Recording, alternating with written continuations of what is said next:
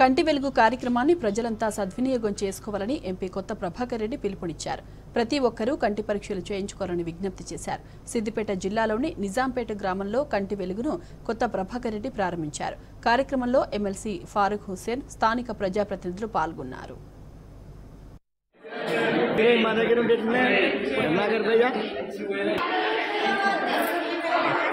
మరి గౌరవ ముఖ్యమంత్రి గారు ఆశీస్సులతోటి మరి రెండో విడత మరి కంటి వెలుగు కార్యక్రమాన్ని చేసుకోవడం చాలా సంతోషం.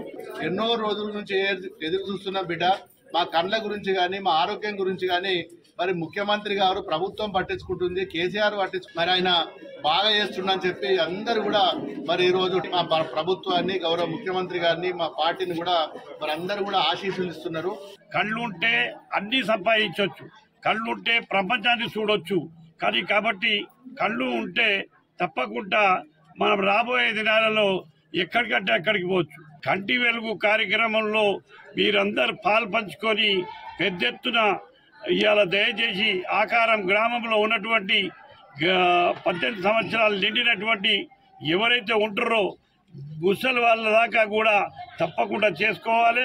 పద్దెనిమిది సంవత్సరాల లోపు ఉన్న వాళ్ళు ఈ స్కూళ్ళల్లో కాలేజీలలో ఇంటర్మీడియట్లో కూడా ఆ పిల్లలకు కూడా తప్పకుండా ఖర్చు వెలుగు ప్రోగ్రాం ఉంటుందని చెప్పి మనం చేస్తాం.